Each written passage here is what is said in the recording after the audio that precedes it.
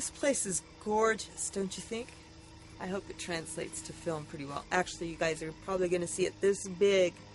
So, anyway, thank you for logging into soulfoodsnutrition.com. I'm Corrine Horner, certified clinical whole foods nutritionist. And I'm here to discuss with you today synthetic vitamins and why I hate them. Okay.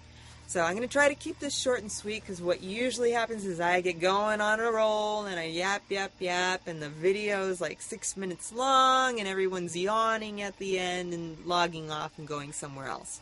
So I'm going to try to keep this short and sweet.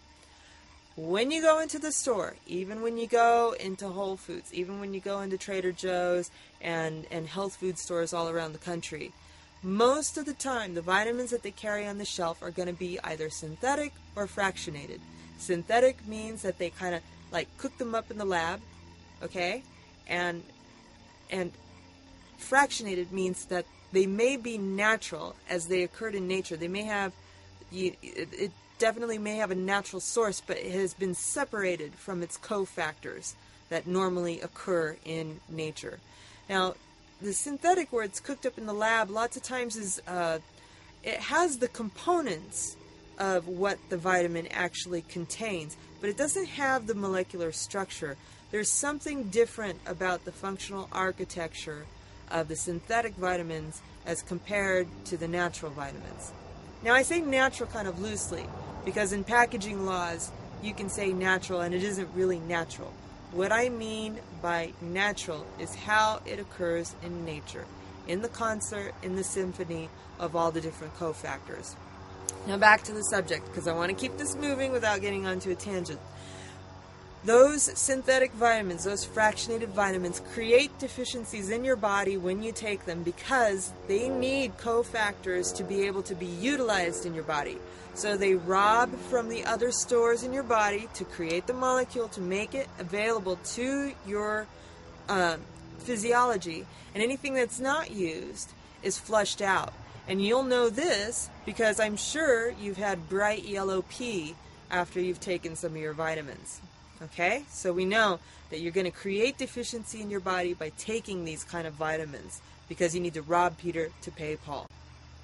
Okay, so the end is worse than the beginning, essentially. Now, the other thing that's really kind of disconcerting is the source of some of these synthetic vitamins. I'm going to try to talk fast again. Vitamin B, most of the time, most of the brands that you get off your average store shelf are synthesized from coal tar. If you don't believe me, email or call the manufacturer. They can pretty much verify this. And that's also another reason why you, you take these vitamins on an empty stomach and they make you feel sick to your stomach and then you have this bright yellow pee. It's not meant to be in your body. I don't know anywhere in history where we were all running around, you know, cavemen eating coal tar. It just, you know, it's not a food, okay? The other thing is vitamin E, the largest supplier of vitamin E, you know, to be encapsulated and packaged and people put on their own personal labels. But the largest supplier of vitamin E in America is Eastman, as in Eastman Kodak. It's actually synthesized from the waste of the film processing. That's how they make their vitamin E. Which don't even get me onto their vitamin E because they'll call, you know, D-alpha-tocopherol or mixed tocopherols, they'll call that vitamin E.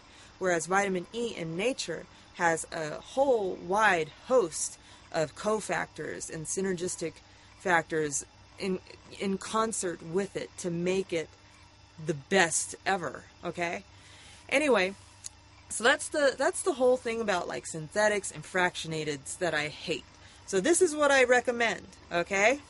I recommend you toss them all. They're actually being flushed down the toilet anyway whenever you go to the bathroom. The high doses are an insult to your body. Your body is doing its best to get rid of them. Okay? And you don't feel good when you take them anyway, and that should be a sign. And if you do feel more energetic, that is probably an adrenal reaction to the toxin that you're taking into your body. Okay? So, even though, yeah, the, the deficiencies they create are, are much worse than the original reason why you're taking them in the first place. What I would do is call me and get a phone consultation or an in-person consultation, and we can we can get a protocol of you uh, for you, especially for you, on whole food concentrate vitamins.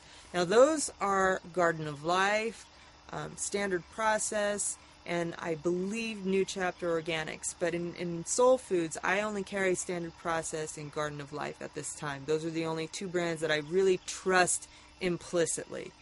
And they're excellent, and uh, especially Standard Process is very cost effective, very, very bioavailable. So, um, anyway, I would do that. If you if you can't call me, if for whatever reason you don't want to do that, go ahead and uh, email me or download our symptom survey online.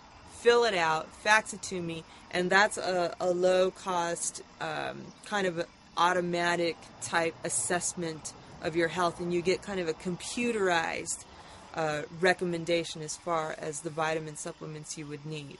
But I, I that's around the same cost as if you were to call me for a 20 minute phone consultation.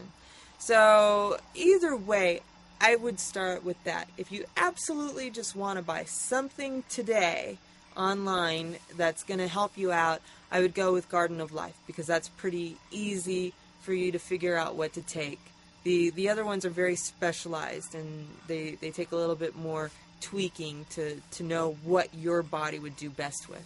But anyway, that's the skinny on synthetic and fractionated vitamins and why I hate them and why you should toss them. Thank you for logging in today to Soul Foods Nutrition, and I hope to see you again soon. Bye bye.